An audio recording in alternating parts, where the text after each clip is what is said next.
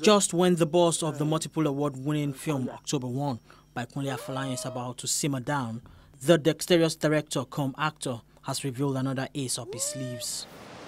Action! He has assembled a Pan-African cast including two-time Grammy Award-winning singer Angelique Kidjo for his new film, The CEO. Uh, uh, uh, that was really good.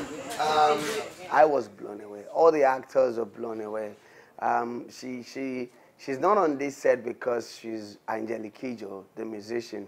She's on this set because I met with her and I saw this huge potential and I saw that it is something she could do. And she came and, you know, um, you know, in acting, it is, it is when, when you are, uh, when you have another, you know, actor who's playing alongside you and the actor is not giving you the right feed, it affects your performance. In almost all of our scenes, she was playing with five other actors and, you know, she gave them the right push, the right element, the right, you know, she, she, was, she was phenomenal. And mark today's date, I believe she's going to get an award for that, for her role in the CEO. Looks at the horse, then he goes to the water. Okay, cool. It looks straight. One, two, straight. Okay. And it stays straight. I hope to get every African region, you know, um, to believe in the fact that uh, we can be making our own films, you know, for the rest of the world. And this time it won't be seen as a Gollywood or a Nollywood or a Kannywood or a South African film or a Kenyan film. I just want us to believe it's an African film made for the world, you know, um, which is what informed the caliber of actors that we have, which is what informed the kind of story that we're telling. Um, you know, it's, it's beyond, this film is beyond entertainment. You know, when, when it's ready, um, not until the end. I mean, just like any of my film, if you watch it just from on the surface, you think, okay, it's another entertainment film from, but when you really, really look and think deep, you realize there's a, you know, very strong message you know, in the film. Entertainment News on Channels Television visited the set of the movie, which also stars acclaimed Kenyan actor Peter King. King, who had been on many international productions, including in Germany, Belgium, and America, reveals he has been longing to get on a Nollywood film because of its popularity in Kenya. Kunle is arguably the best African director I've worked with and he's at par with any other director around the world. And I've, I've, I've worked with the likes of Fernando Meirelles, uh, Bill Condon of Dreamgirls, and uh, the German director, what's his name, Tom Tykwer. I can tell you, Kunle is at par with any of those directors. We need to start appreciating our own.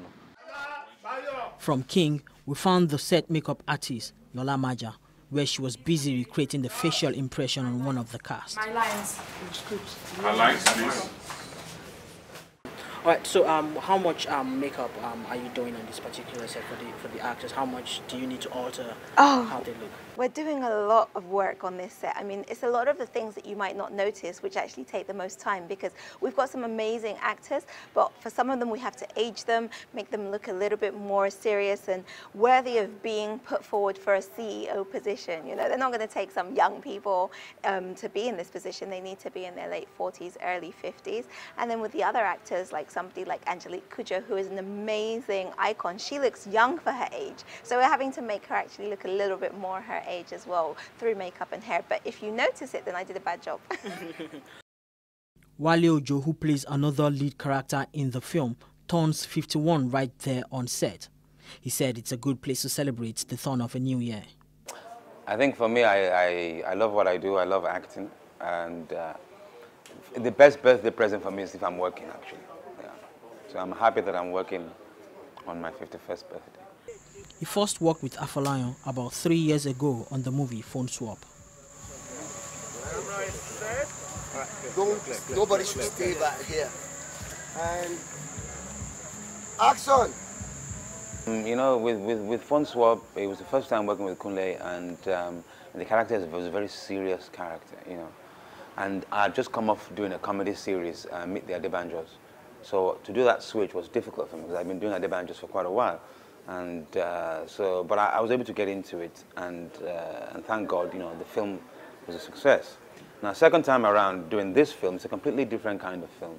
It's a completely different kind of character. You know, I play the character of Kola Alabi, marketing director of a huge telecommunications company. Totally different from the character in Swap, almost the opposite. You know, happy-go-lucky, you know, womanizer, you know, and uh, like you know, like a Lagos big boy. So, um, uh, and that's a challenge, you know, and it's also a challenge to be able to make sure that the character is represented well within the script. It's a great script that Tunde Babalola has written. 86 states to 89 to Stand by.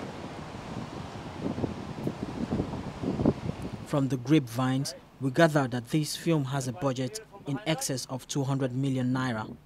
Afolayan has been able to only access about a quarter of what he needs from the Nollywood Fund provided by an investment bank in Nigeria.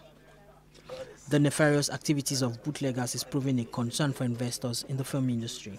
Well, we, we are a lender, and when we lend, we hope that we can recover the money eventually. Uh, but we also know that in lending, uh, sometimes things don't work out. You know, we, we just want to take steps to ensure that those instances where things don't work out are very minimal. And so far, we've been able to put you know, such instances under control. We are very optimistic that the rate of default you know, will be managed you know, to a minimal level. So that's why it, sometimes it appears that it takes a little bit of time, but once those structures are put in place, we have reasonable assurance that the loans will be repaid. The CEO chronicles the chain of events during a high-level recruitment process at a telecommunication company, which eventually spawned a web of mysteries.